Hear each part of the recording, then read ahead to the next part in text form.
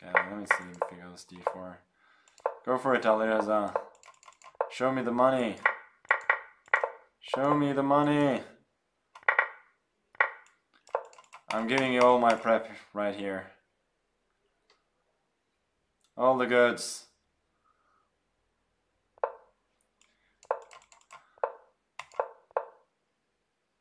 So what are you supposed to do here? Queen e7 maybe?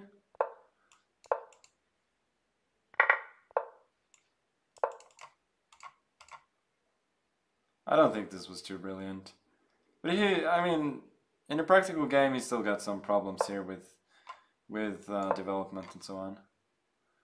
Queen b4, I'm not worried about that take. Go d4 and I'll counterplay. Oh, this one I, I, I am worried about though.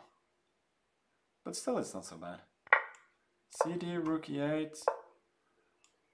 I got queen h4 as well. Yeah, king g8, safeguarding the king. Let's bring the rook over here.